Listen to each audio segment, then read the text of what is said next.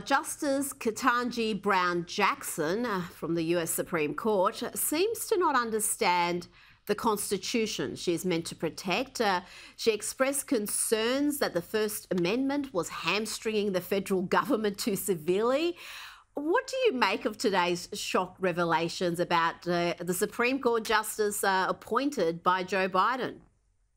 So I'll begin before I answer that. I'll go on an oblique tangent for a second until about 15 minutes ago, the 117 billion people who've been estimated to have existed on Earth absolutely knew the definition of male or female. But yet, when she was being confirmed, if you remember, she said that you know she's not a biologist, yes. so she couldn't. Right. So if we have a Supreme Court justice who's incapable of telling us what a woman is, then I'm not surprised that she's having some difficulties understanding the intricacies of the First Amendment mechanisms. But to answer your question more directly, th- this is actually something that I speak about in the parasitic mind the difference between deontological and consequentialist ethics.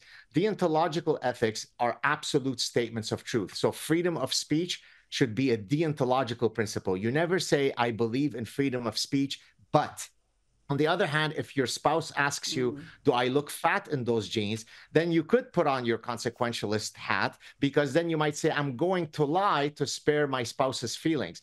But when it comes to foundational principles that are enshrined in the First Amendment, it has to be a deontological principle. And apparently, our, ju- uh, our Justice, uh, uh, US Supreme Court Justice, is unaware of that distinction. So it was grotesque, uh, but it didn't surprise me.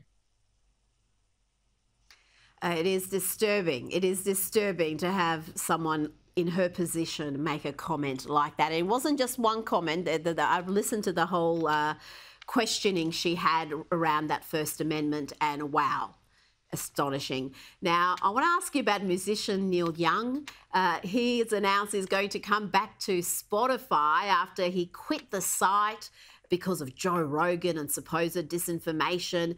Uh, he got all sorts of excuses for the backflip here. But in the end, it seems when it comes to these celebrity opinions, they love to grandstand, but they also love money and they love that Spotify money perhaps more than their principles.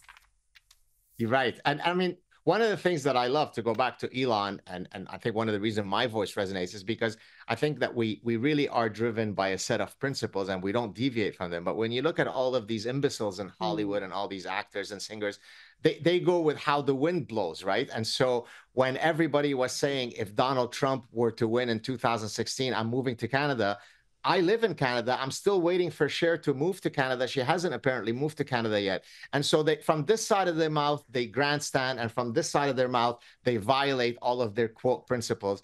They're grotesque. They're idiots. They don't have a moral compass. Before you go, I have to get your opinion on how things are going in Canada. Your great and fearless leader, Justin Trudeau. Uh, what's the political environment like in Canada? And, and is uh, Trudeau in peril? Will he survive the next election? Well, certainly the polls are showing that he is in peril, and so if if if the elections were to happen tomorrow, I think that he'd be, you know, it would be, oh, dare I say a bloodbath? Am I allowed to say a bloodbath, or am I calling for a oh, genocide? It, it maybe I shouldn't say that. Yeah, well, it, it, would be it would be a massacre. Can I say that, or that's also incitement to violence? But anyways, uh, mm. look, don't Canada, say a landslide I, either because that's frightening. It won't be a landslide either. Yes. Right. No, I think he would definitely lose. And uh, you know, I received a, a text a few days ago from Elon, a private one, where he said, "Hey, I wonder how is it that you could survive in Canada with such rampant woke mind viruses?" And so, to your question, it's very difficult for me not only to be in Canada, but to be within the university ecosystem in Quebec, because my own university, mm. there are many things that I love about it. It's very, very woke. And so it is definitely difficult to walk on my shoes on a daily basis, but I do it hopefully with a smile. Well, we rely on you, Dr. Saad, and uh, Jordan Peterson to. Uh, to fight the good fight in Canada. I know there is others, but you two are leading the way. Thank you so much for your time this evening. Really do appreciate it.